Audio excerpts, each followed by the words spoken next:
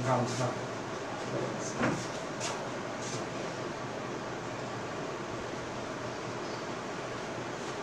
Yes. नीचे भी गामसा बनीचे लेकिन मैं सीएस हैं कितना था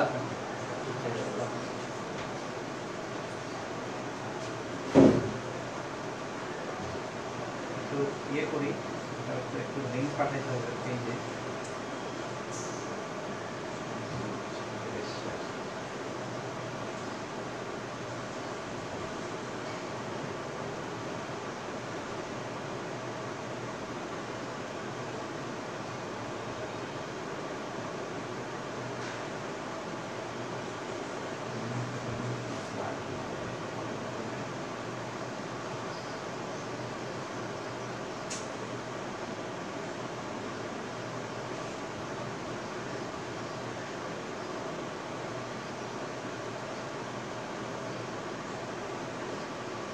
আজকে নেক্সট পিরিয়ডে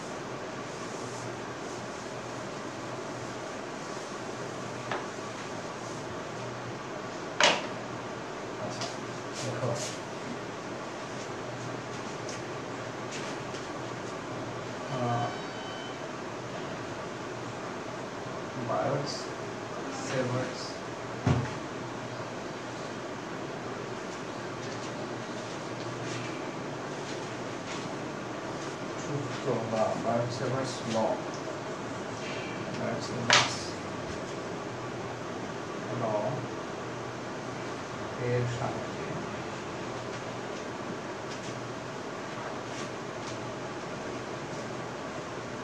Washing অসীম দৈর্ঘ্যে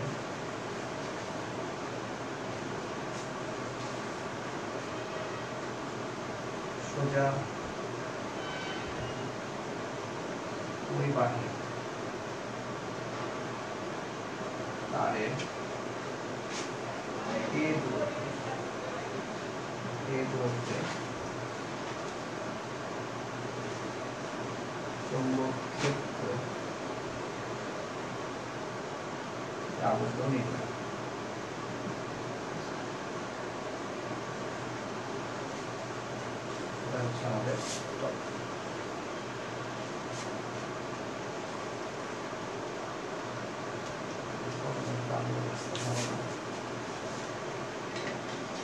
দেখো। আমি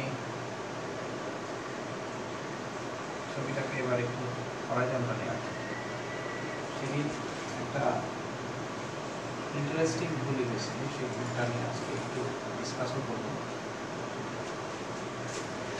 বাংলা কলমের কালি শেষ। পাইনি এটা একটা সোজা পরিবাহিতা দেখি এখন পরিবাহী তারের এটা হচ্ছে কো বিন্দু।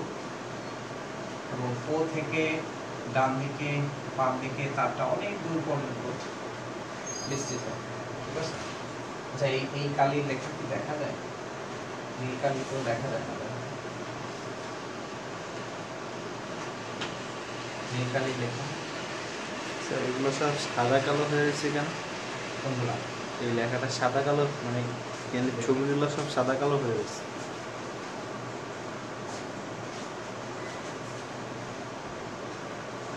কোনটা? এই সাদা কালো সাদা কালো আসতেছে। হ্যাঁ সাদা কালো আসুক ওগুলো তো সাদা কালোই নিচে তো নীল। নীল তো বোঝা যায় হ্যাঁ নীল বোঝা যায় অসুবিধা নেই সাদা কালো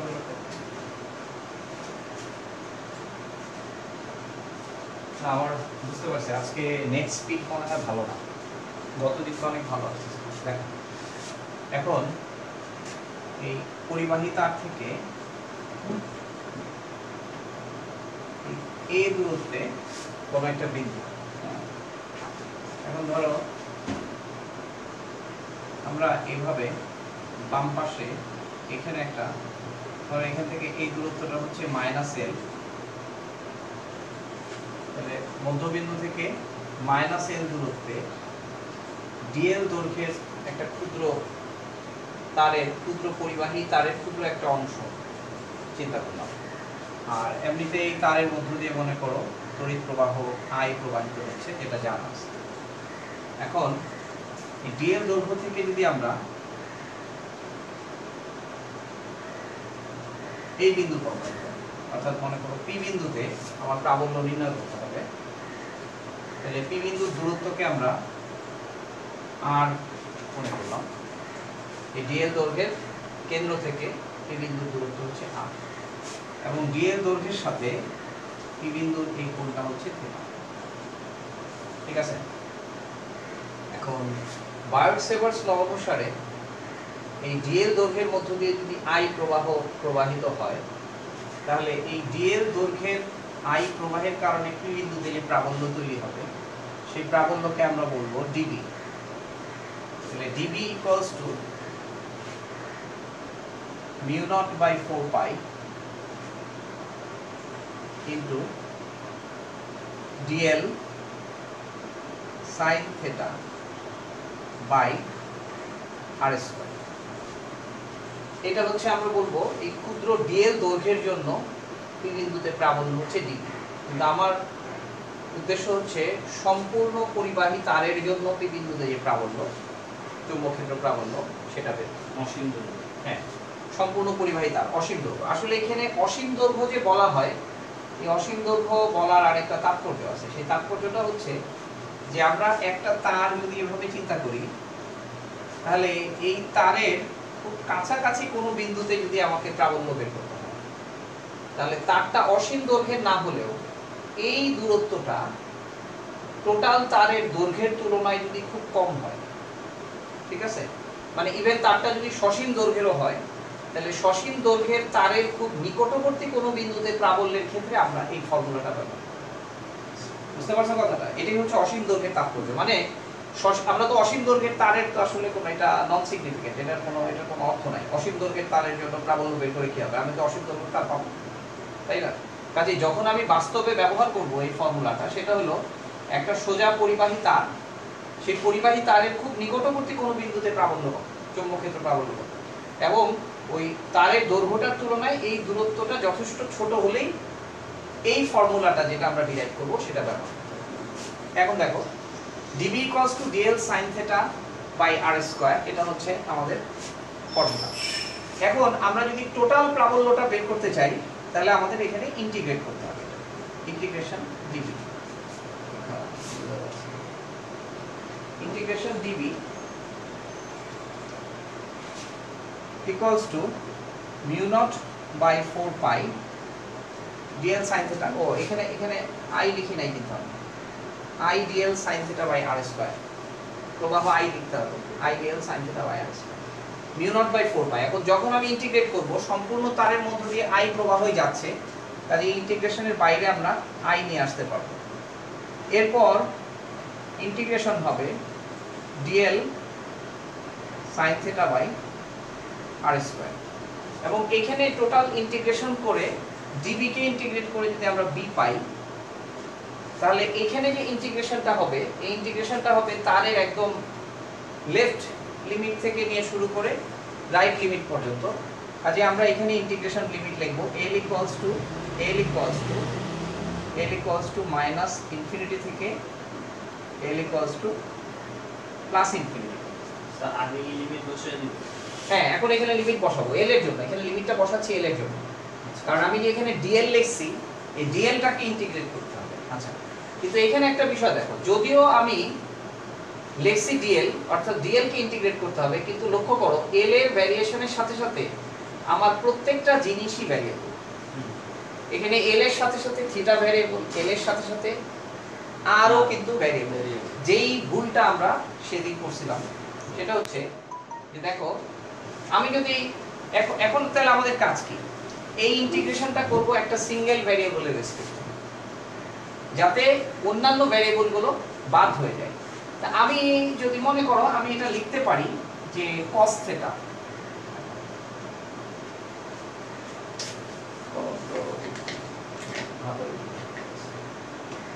আচ্ছা আমরা লিখতে পারি cos theta equals to কি? Cos theta equals to এটা যেহেতু বাম দিকে আমরা লিখতে পারব মাইনাস এল বাই আর তাই না? এই যে ভূমি বাই অতিভুজ cos theta equals to minus l by r l যেহেতু বাম পাশে। আচ্ছা। তাহলে এখান থেকে minus l equals to r cos theta এখন আমি যদি ডিএল এর মান বের করতে চাই তাহলে আমি যদি এরকম লিখি minus dl equals to r cos theta কে ডিফারেনশিয়েট করলে হবে মাইনাস sin theta তার মানে minus sin theta d theta ঠিক আছে? লেখা যায় এটা? জি স্যার। না জি স্যার বললে হবে না এটা লেখা যায় না। কারণ হলো এল এর সাথে সাথে এখানে ভ্যারিয়েবল কিন্তু শুধু থেটা না ভ্যারিয়েবল হচ্ছে আর এবং থেটা তাহলে যদি আমি সত্যি সত্যি এটা লিখতে চাই তাহলে এটা আমাকে লিখতে হবে এইভাবে। আর কেউ কি হ্যাঁ আর কেউ। তার মানে ওই যে ডাবল ভ্যারিয়েবলের ইন্টিগ্রেশন ডিফারেন্সিয়েশনের সময় যেরকম আমার প্রথম আর minus r sine theta d theta plus এখন কস থেটাকে কনস্ট্যান্ট ধরে আর কনস্ট্যান্ট ধরে এখানে লিখতে হবে প্লাস ডি আর বুঝছ ব্যাপারটা হ্যাঁ। এতে করে আমার কমপ্লিকেসি কিন্তু বেড়ে গেল কোনো লাভ হলো মানে আমি মানে ডিএল কে বাদ করতে চাচ্ছি ডিএল কে সিঙ্গেল ভ্যারিয়েবল প্রবলেমে কনভার্ট করতে চাচ্ছি। কিন্তু এখানে আমরা যেটা করলাম, সেটা হচ্ছে যে ডিএল কে আবার থেটা ডিআর মানে আমার ইন্টিগ্রেট আসার কথা বা সরি আমার ডিফারেন্সিয়েবল ডিফারেন্সিয়েট করার মতো বা ইন্টিগ্রেট করার মতো প্যারামিটার আমার আসার কথা একটা। কিন্তু এখানে আমি কমাইতে পারতেছি না, এখানে ঝামেলা হয়ে যাচ্ছে। এই জন্য আমাদের এই অ্যাপ্রোচটা ভুল ছিল। যদি আমরা কেউ এইভাবে করে শুরু করি, এই জিনিসটা ভুল হবে। তাই এই জিনিসটা ভুল হবে। এটা ভুল এটা করা যাবে ঠিক আছে? এখন আমাদের যেটা করতে হবে সেটা হলো আমরা একটু দেখি যে যা যা ভ্যারিয়েবল এখানে ভ্যারিয়েবল কে কে বলো? এখানে ভ্যারিয়েবল হচ্ছে আর ভ্যারিয়েবল হচ্ছে থেটা আর ভ্যারিয়েবল হচ্ছে এল ঠিক আছে? এখন আমি একটা ভ্যারিয়েবল লাগবো আর বাকি কনস্ট্যান্ট বানাই ফেলব তাহলে আমরা একটা কাজ করি। আমরা যদি এই এল এবং থেটাকে এর সাথে কোরিলেট করে দেখি। এই জন্যই আমাদের সেই মানে বিষয়টা এখন সহজ হবে, দেখো। আমরা প্রথম লিখব যে cos থেটা না লিখে আমরা যদি sin থেটা লিখি sin থেটা ইকুয়ালস টু যদি আমরা a বাই r লিখি, তাহলে এটুকু কিন্তু আমরা লিখব না। এখন আমি ডিফারেন্সিয়েট মানে ইন্টিগ্রেশন করার জন্য সাবস্টিটিউশন দিব, ঠিক আছে? এই সাবস্টিটিউশন দেওয়ার কাজ করতেছি। sin theta equals to a by r, তাহলে এখান থেকে আমরা পাচ্ছি যে আমরা পাচ্ছি sin theta equals to a by r sin theta equals to a by r তাহলে এখান থেকে sin theta equals to a by r, তাহলে এখান থেকে a ইকুয়ালস টু বা r equals to r equals to আমরা বলতে পারি a by sin theta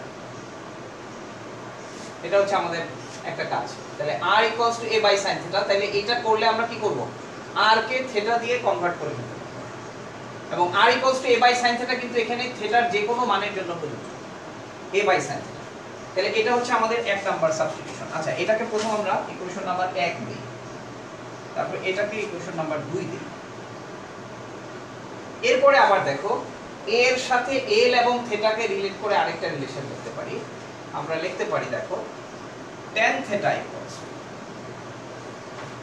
tan theta equals to তোমাদের বইতে হয়তো cot theta লেখা আছে কিছু আসে যায় না tan theta equals to আমরা লিখলাম a বাই মাইনাস l লম্ব বাই ভূমি a বাই মাইনাস l ঠিক আছে তাহলে tan theta equals to a by minus l হয় তাহলে minus l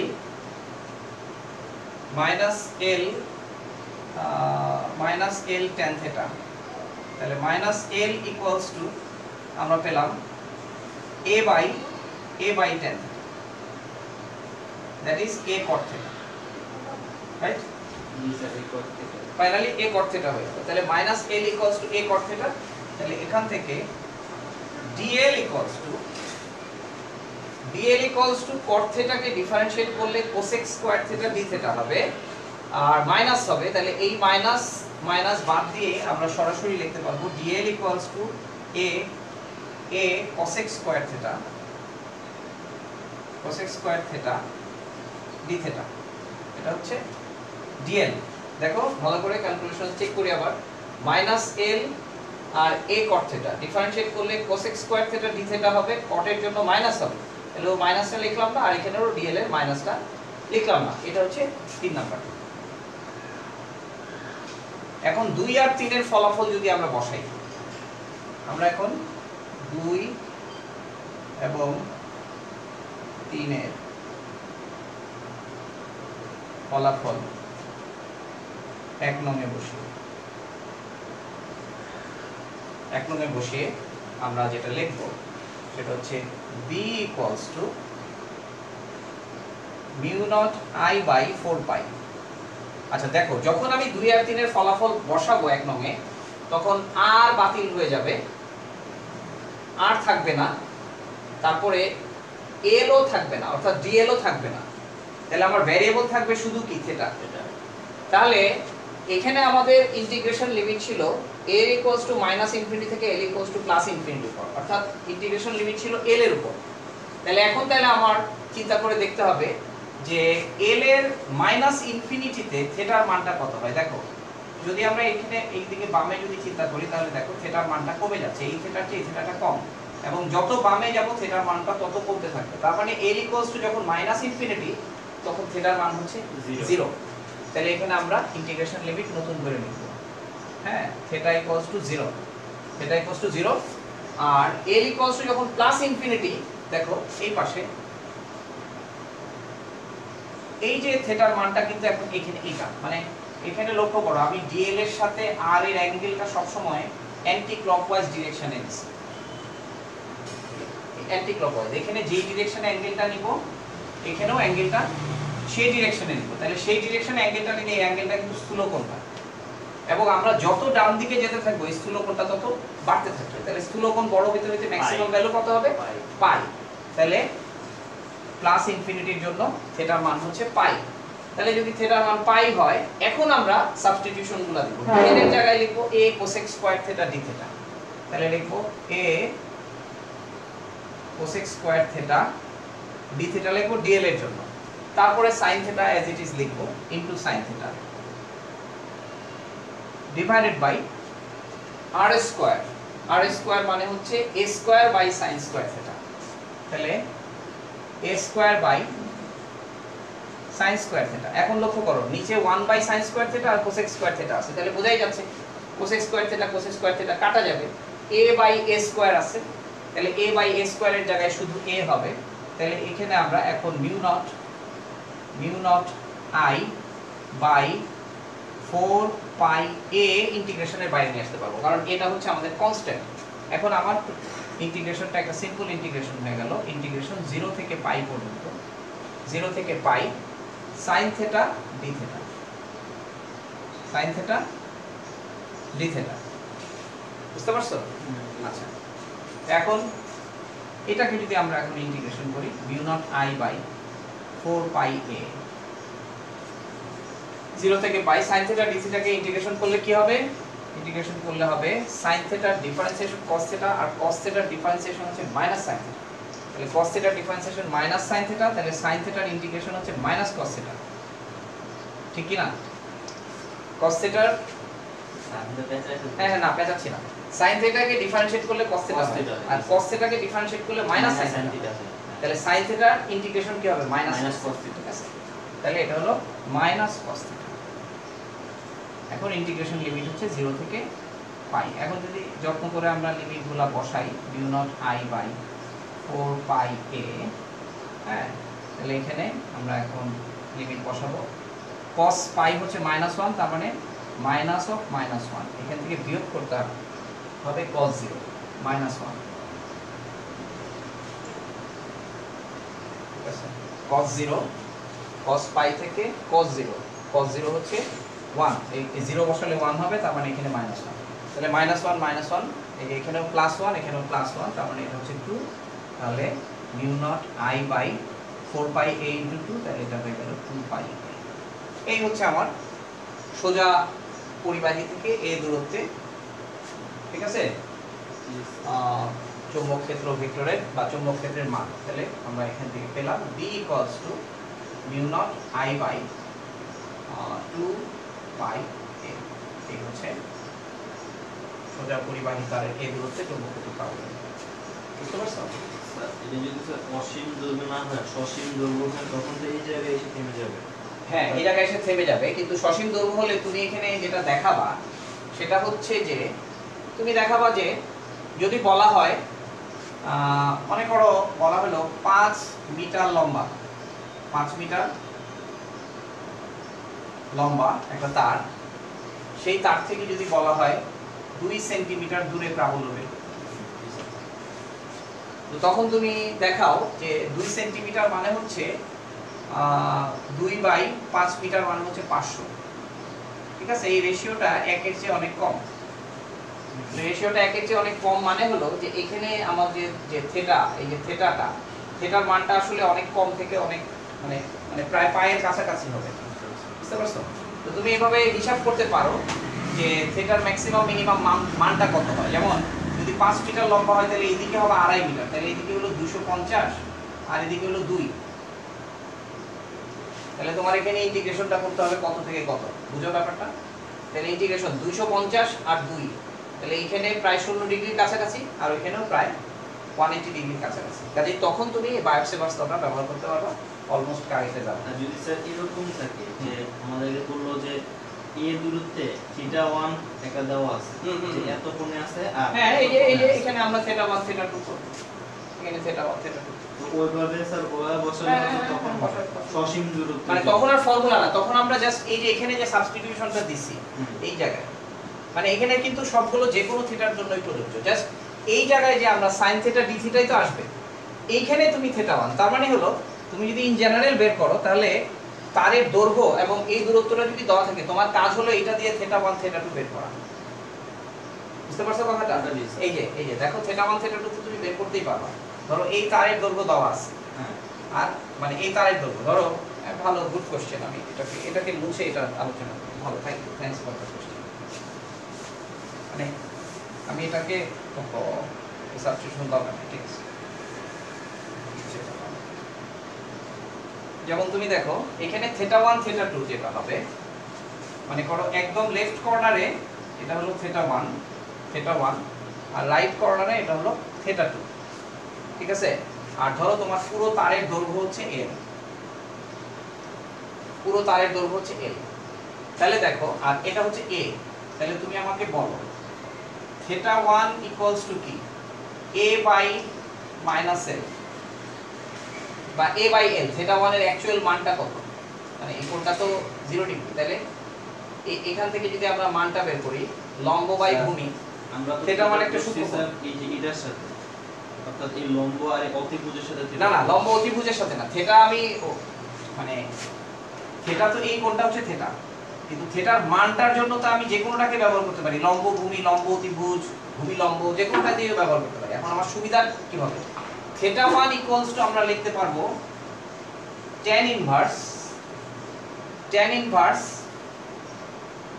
a by l by 2 R theta 2 equals to tan inverse theta 2 equals to যেটা হবে pi by 2 plus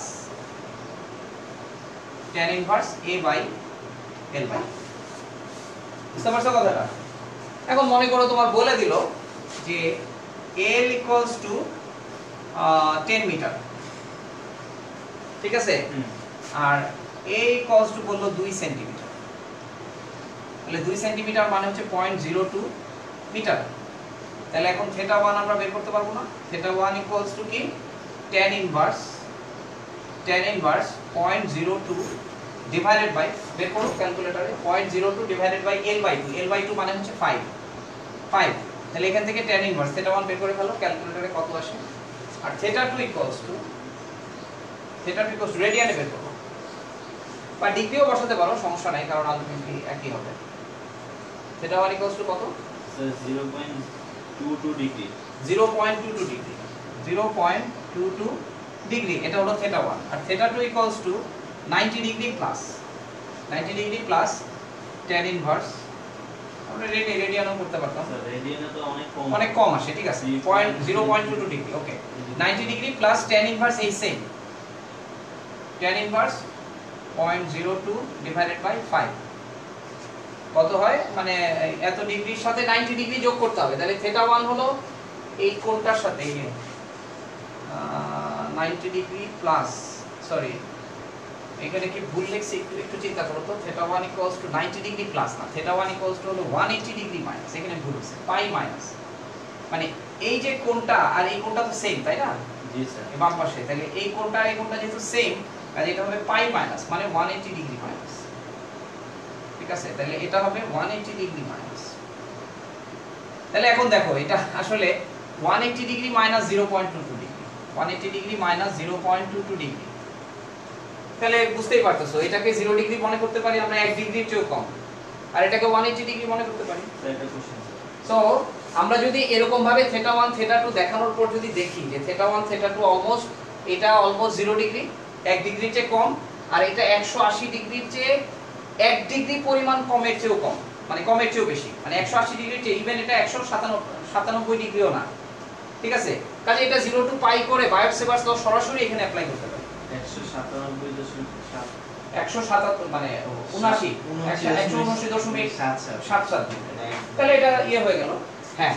যদি তুমি দেখো যে না এই দৈর্ঘ্যটা অনেক বড় না এটা কাছাকাছি তখন আমরা এই মানগুলো মানে এই ক্যালকুলেশনটা সিগনিফিকেন্ট এটা বের করা স্যার আমি স্যার কোশ্চেন করছিলাম যে স্যার এই চিত্র অনুসারে আমরা যদি এটাকে থিটা বানাই এটাকে থিটা টু ধরি ভুল হবে স্যার। মানে মানে তুমি উপর থেকে থেটা 1 থেটা 2 হ্যাঁ তুমি এই এই থেটা 1 থেকে থেটা 2 করতে যাচ্ছ। এখন এই থেটা 1 থেকে থেটা 2 যদি তুমি যদি এখানে অ্যাঙ্গেলটা ধরো এই অ্যাঙ্গেলটা যদি তুমি ধরো আর এই অ্যাঙ্গেলটা যদি তুমি ধরো তাহলে দেখো অসীমে গেলে এই অ্যাঙ্গেলটার মান কত হয়? 180 ডিগ্রি। আর ওই অসীমে গেলে অ্যাঙ্গেলটার মান করতে হবে মানে এই যে দুইটার মানে না, হয়ে গেল না? 90 দুইটা মান degree same হয়ে গেল না? দুইটার দুইটা মানে- 90 ডিগ্রি হয় না বাট 90 ডিগ্রি হয় না ওটা হয় মাইনাস 90 ডিগ্রি থেকে প্লাস 90 কারণ কোরের ডিরেকশন চেঞ্জ হয়ে যায়। কাজে এটা মানে ক্যালকুলেশনে এটা কোনো গুড সাপোর্ট দিবে না। সো এটাই হলো আমাদের নাইস জিনিস।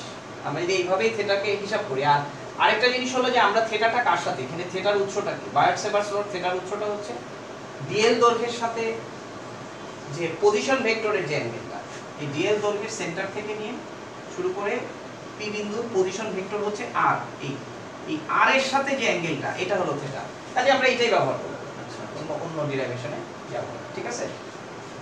আচ্ছা। তাহলে এইটা মোটামুটি আমরা সোজা পরিবাহী তার। আর বৃত্তাকার পরিবাহী তারেরটা তোমাদের বইতে যেভাবে দেওয়া আছে, বৃত্তাকার পরিবাহী তারেরটা কি আর দেখাবো, নাকি এটা পাবা? দরকার আচ্ছা তাহলে এটা বুঝি। বাট এইটা এই এই বিশ্লেষণটা একটা দরকারি বিশ্লেষণ ছিল।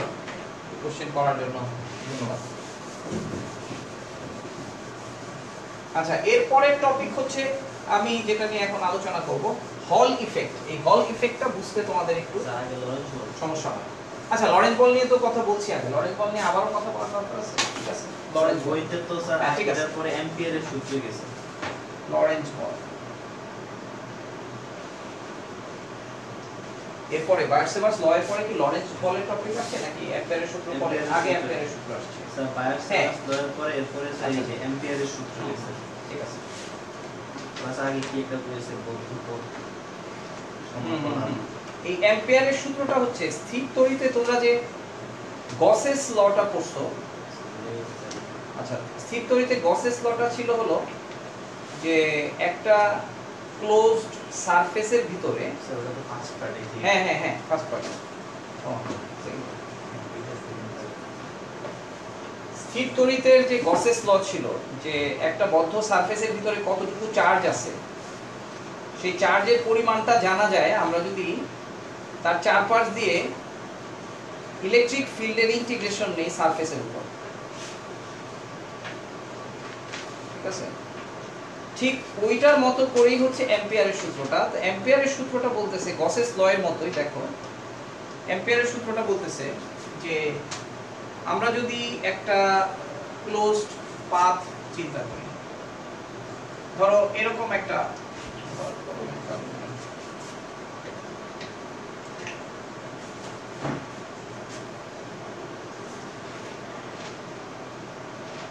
অ্যাম্পিয়ারের সূত্রটা বলতেছে। মনে করো এরকম একটা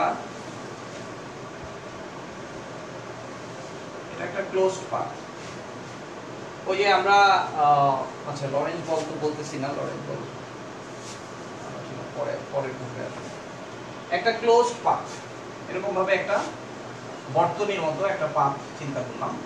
এবং মনে করো যে এখানে একটা বি আছে। প্রত্যেকটা বিন্দুতে আলাদা আলাদা করে বি আছে। বি ভেক্টর বি মানে চৌম্বক ক্ষেত্র ভেক্টর আছে।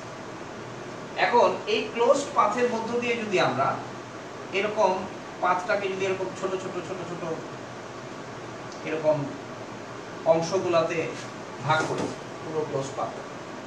এরকম ছোট ছোট অংশ যদি ভাগ করি প্রত্যেকটা অংশকে যদি আমরা এরকম ভাবে ডিএল চিন্তা করি ডিএল এখন লরেন্স বল বলতেছে যে এই বি এর সাথে সরি অ্যাম্পিয়ারস ল এই বি এর সাথে ডিএল এই ভেক্টর বি এবং ডিএল আচ্ছা এখন তুমি একটু চিন্তা করো যে এরকম একটা ক্লোজড পাথের মধ্যে বি থাকে প্রিভিয়াসলি নোন দৃশ্য তুমি কি চিন্তা করো? তুমি জানছো যে যদি এরকম ভাবে কোনো একটা তারের মধ্য দিয়ে তড়িৎ প্রবাহিত হয় তাহলে তার চারপাশে এরকম ভাবে আমরা বি পাই। বুঝতে পারছ? তাহলে এই তারের চারপাশে এবং তারের ভিতর দিয়ে যদি তড়িৎ প্রবাহিত হয় তাহলে আমরা তার চারপাশে বি পাই। তাহলে এখন বলা হচ্ছে এই যে ক্লোজড একটা পাথ চিন্তা করলাম এই পাথটা যে সমতলে আছে ঠিক আছে? যে সমতলে আছে সে সমতল বরাবর টোটাল কতটুকু কারেন্ট ফ্লো মানে এই সমতল থেকে ভার্টিক্যালি এইভাবে কতটুকু কারেন্ট বের হয়ে যাচ্ছে সেই কারেন্টের মানের সাথে হ্যাঁ? এই এই চক্রীয় ইন্টিগ্রাল বলতে এই সাইক্লিক ইন্টিগ্রাল বলতে বোঝায় একটা বদ্ধ পথে আমি এই ইন্টিগ্রেশনটা করব ঠিক আছে?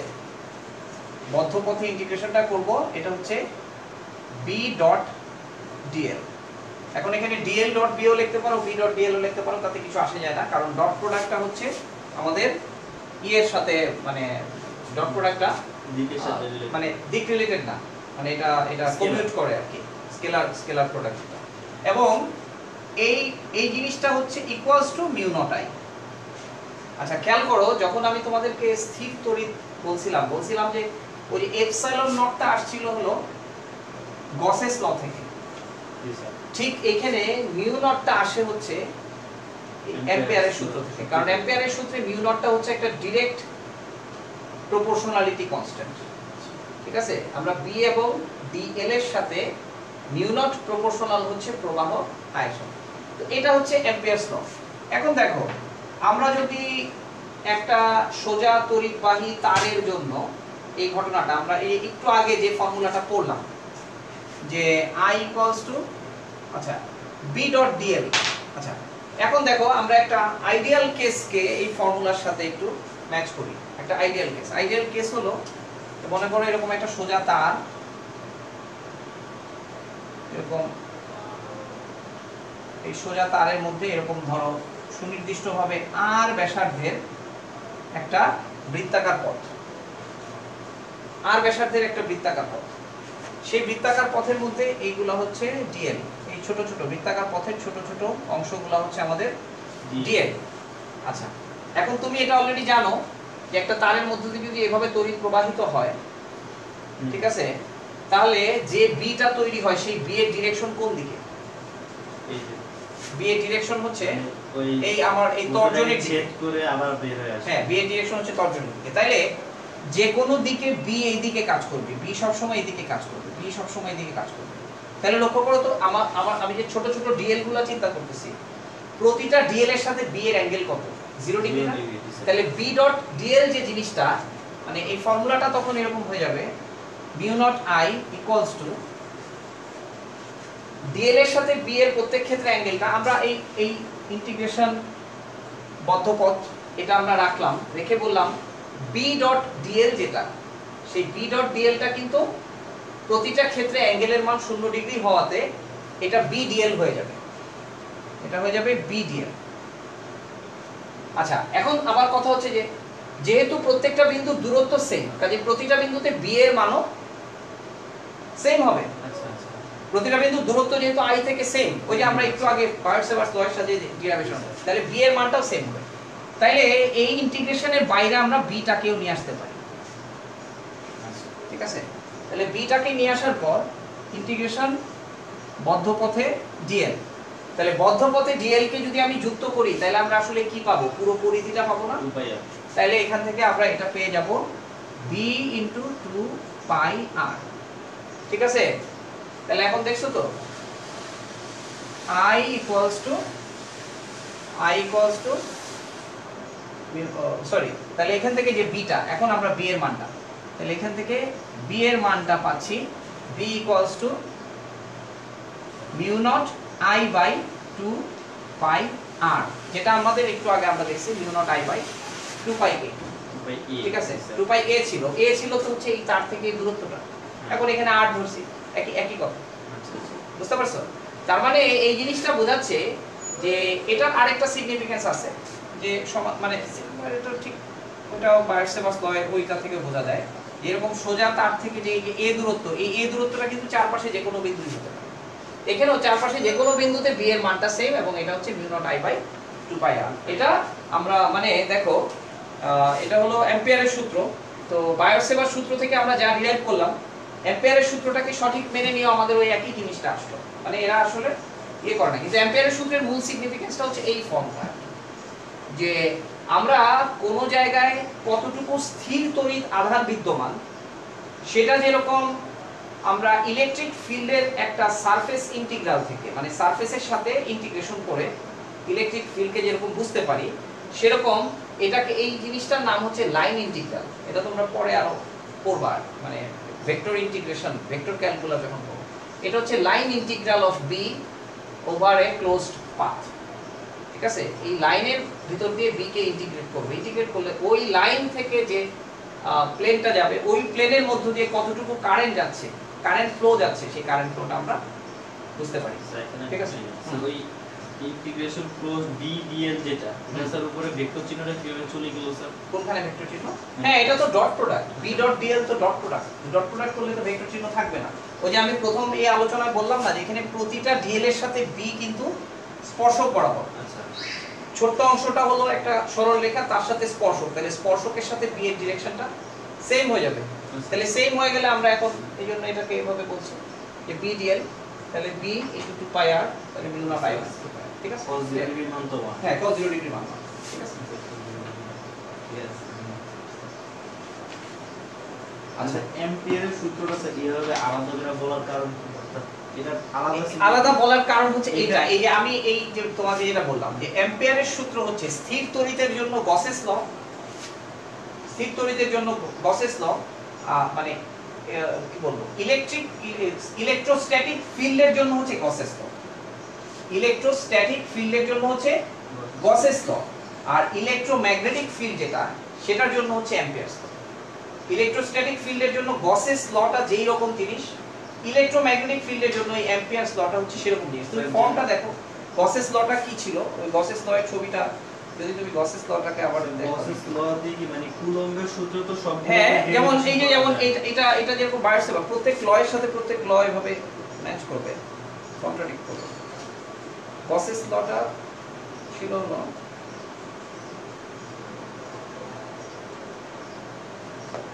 গসেস ল কিন্তু অনেক রকম ফর্ম আছে।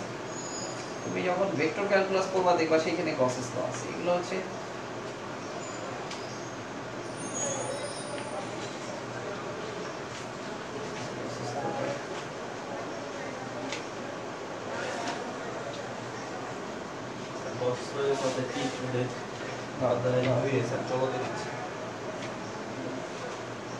চলো চলো চরিত্র স্থির তরিতে।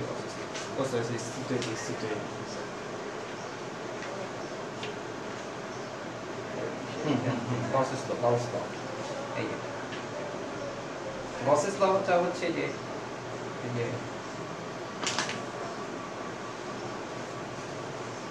লটা হচ্ছে যে q to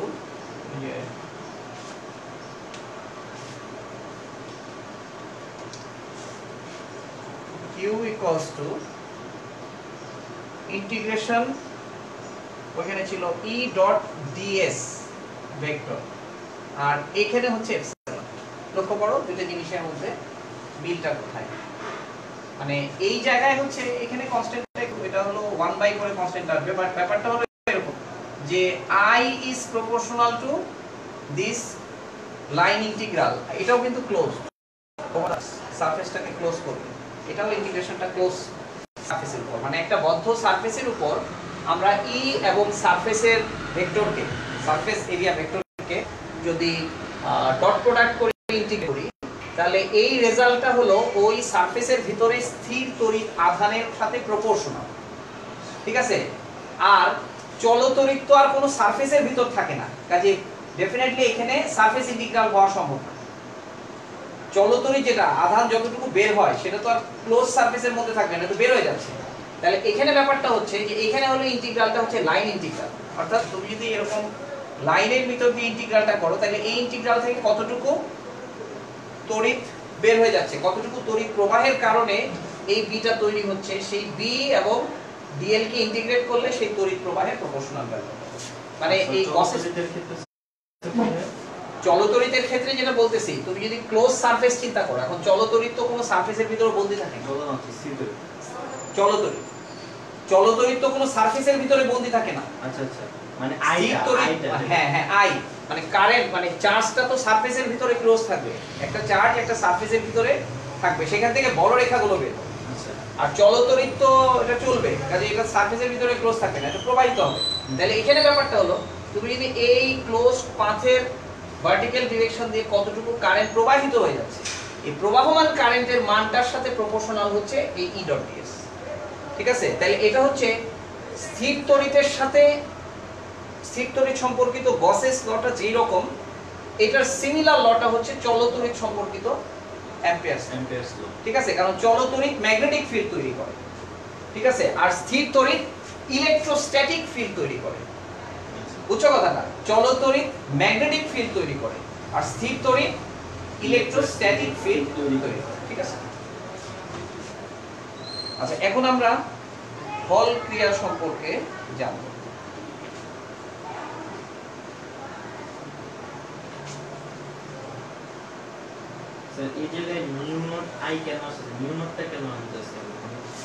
হচ্ছে যে প্রপোর্শনালিটি কনস্ট্যান্ট মানে জিনিসটা হচ্ছে আমরা দেখব যে এইখানে ইন্টিগ্রাল করে যে রেজাল্টটা পাবো সেই রেজাল্টটার সাথে কারেন্ট প্রপোর্শনাল ঠিক আছে? তো সেখান থেকে একটা প্রপোর্শনালিটি কনস্ট্যান্ট আসবে। দুগুলার ইউনিট তো সেম না সেম ইউনিট বানানোর জন্য এই প্রপোর্শনালিটি কনস্ট্যান্টগুলো আসে। মানে এই কারেন্টটা আসলে বি এবং ডিএল এর ইন্টিগ্রালের উপর ডিপেন্ড করতেছে নির্ভর করছে। কাজে সেখান থেকে একটা প্রপোর্শনালিটি কনস্ট্যান্ট এই প্রপোর্শনালিটি কনস্ট্যান্টটা হচ্ছে মিউ নট শূন্য স্থানের জন্য এটা মিউ নট বা অন্য যে কোনো মিডিয়ামের জন্য এটা হচ্ছে মিউ ঠিক আছে? আর কোনো কোশ্চেন স্যার বি এর একক হচ্ছে টেসলা আর ডি এর একক হচ্ছে হলো এল মিটার। সেরকম? হ্যাঁ। বি এর একক টেসলা হ্যাঁ হ্যাঁ হ্যাঁ। এখন তুমি এগুলার ইউনিটও বের করতে পারো। টেসলা মিটার ঠিক আছে? টেসলা মিটার আর আই এর একক আয়ের একক হচ্ছে অ্যাম্পিয়ার তাহলে মিউ নটের একক কি? টেসলা মিটার পার অ্যাম্পিয়ার তো ওই কারণে যাতে উভয় সাইডে হ্যাঁ হ্যাঁ হ্যাঁ সমান একক। নট একক। এই এককগুলোর আলোচনা এখন আসলে এই- এই লেভেলে কারণ এই একক কীভাবে নির্ণয় করতে হয় এগুলো তোমাদের নাইন টেনে শেখানো হয়েছে। তারপর না বুঝলে বলবা সমস্যা নেই। আচ্ছা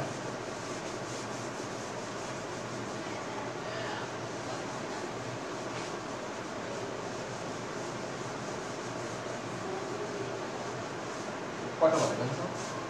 নামাজটা করে নেব। ঠিক আছে।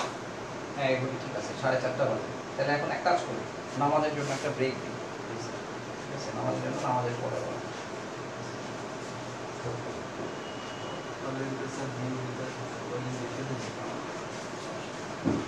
ওই এরা ওরা দেখে